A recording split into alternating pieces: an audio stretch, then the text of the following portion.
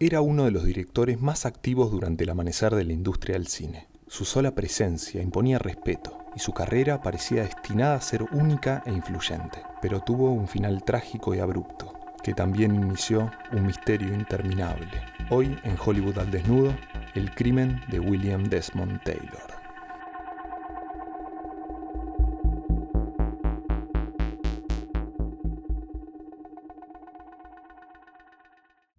La vida de William Desmond Taylor comenzó lejos de los Estados Unidos y con otro nombre. Nació como William Cunningham Dean Tanner el 26 de abril de 1872 en Carlow, Irlanda. Fue el tercero de cuatro hijos de Kearns Dean Tanner, un ex oficial del ejército británico. Después de su nacimiento, la familia se mudó a Dublín. Siendo chico, cuando sus padres gozaban de un buen pasar, William recibió clases de historia, francés y alemán, y aprendió a montar. En su etapa escolar comenzó a dar muestras de su interés en la actuación. Sin embargo, se esperaba que siguiera los pasos de su padre, pero no aprobó el examen de ingreso al ejército británico. Además, la familia pasaba por un delicado momento financiero. Como consecuencia, en 1890 fue enviado a Estados Unidos. Recaló en Kansas, donde trabajó en un rancho. Por aquel entonces era normal que algunas familias británicas mandaran a sus hijos a América para recaudar algo de dinero. Dos años después, el rancho cerró y William trabajó como vendedor y camarero en distintas ciudades estadounidenses. Al mismo tiempo, integró una compañía teatral que le permitió desarrollar su pasión. En 1899, aprovechando un dinero de una herencia, se instaló en Nueva York. Allí trató de impulsar su faceta interpretativa.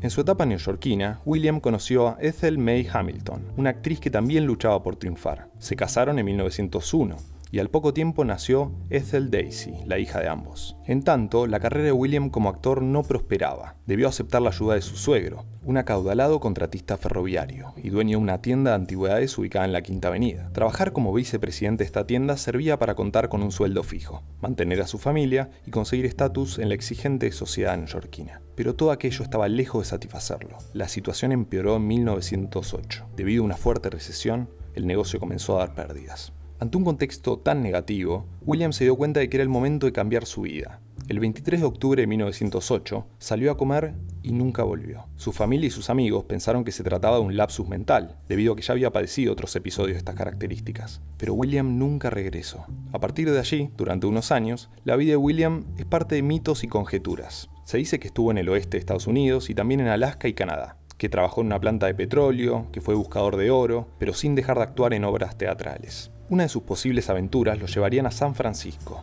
donde gente que pudo reconocerlo le dio dinero para establecerse en Los Ángeles. Pero de esa época una cosa es cierta, dejó atrás el William Cunningham Dean Tanner para llamarse William Desmond Taylor.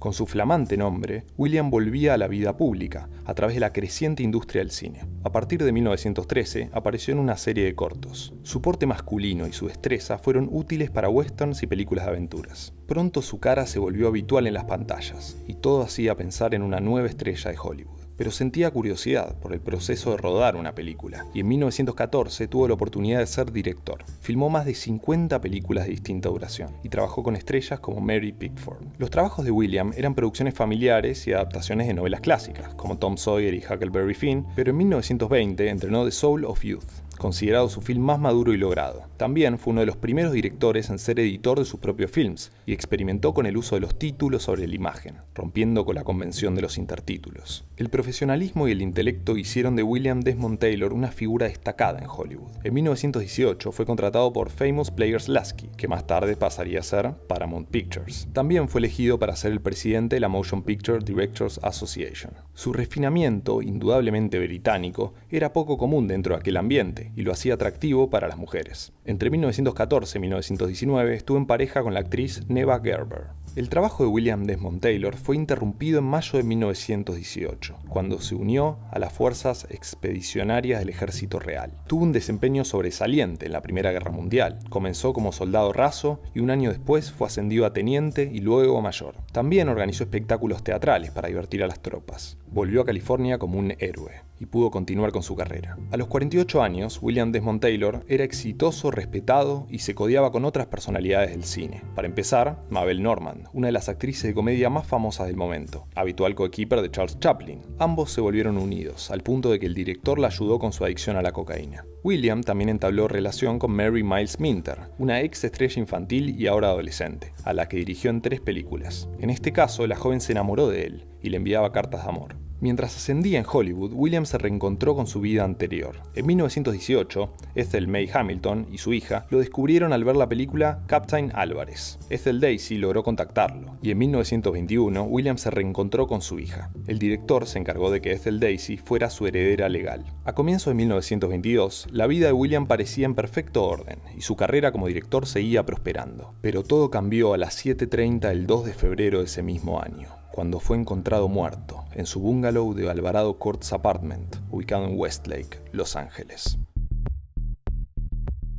El misterio comenzó desde el principio. En la escena del crimen estaban Harry Peavy, que era su asistente y ayudante de cámara, y otras personas que entraban y salían. El cuerpo había sido encontrado boca arriba, con la ropa puesta. Al principio los presentes no notaron señales de violencia. Entre ellos, también había un médico que cuando examinó el cadáver, sin moverlo de su posición original, determinó que había muerto por causas naturales. Pero cuando apareció Tom Ziegler, de la Oficina Central de Detectives, puso orden y descubrió la siniestra verdad. Desmond Taylor fue levantado y de pronto se formó un charco de sangre que emanaba de un agujero en la espalda. Lo habían asesinado de un disparo. Pero no se trató de un robo. En su bolsillo fueron encontrados 78 dólares y un reloj, y conservaba aún un anillo de diamantes de 2 quilates. Desmond Taylor fue velado el 7 de febrero en la Catedral de St. Paul y enterrado en el ahora conocido como Hollywood Forever Cemetery. Mientras la policía inició una investigación exhaustiva, pudieron comprobar que el arma homicida era un revólver calibre 38. El médico que había aparecido de repente jamás fue identificado. La primera pista sobre el asesino la aportó Faith Cole McLean, esposa del actor Douglas McLean y vecina del director.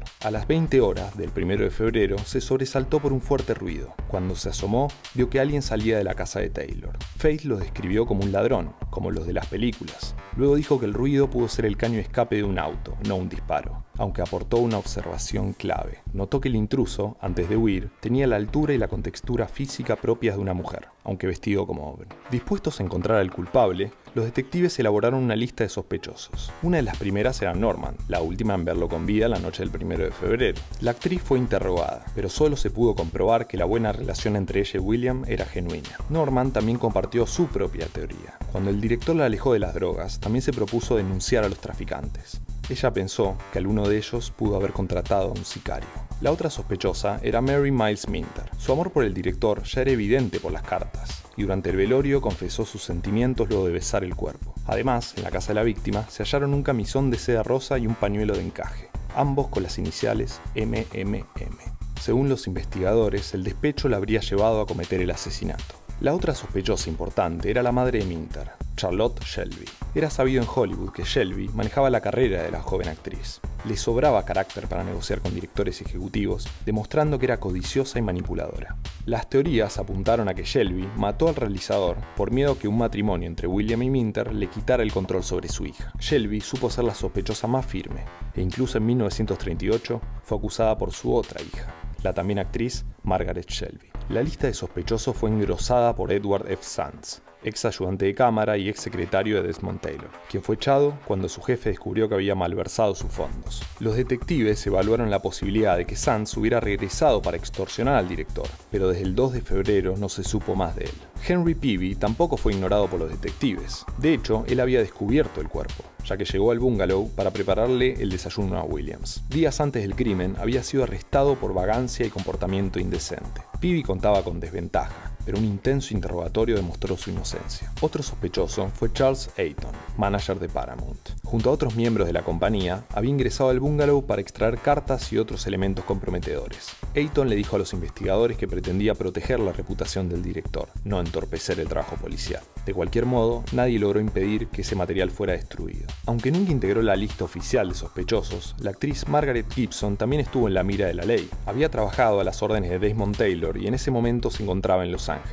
Además, contaba con un prontuario de prostitución y contrabando de opio. Los detectives también descubrieron detalles ocultos de la vida privada de Desmond Taylor. Averiguaron que mientras estuvo con Neva Gerber, mantuvo una relación clandestina con el director George James Hopkins. También se lo acusó a Peavy de proveer de hombres jóvenes a su jefe. Por aquel entonces, la homosexualidad era un tabú en Hollywood y se mantenía en secreto.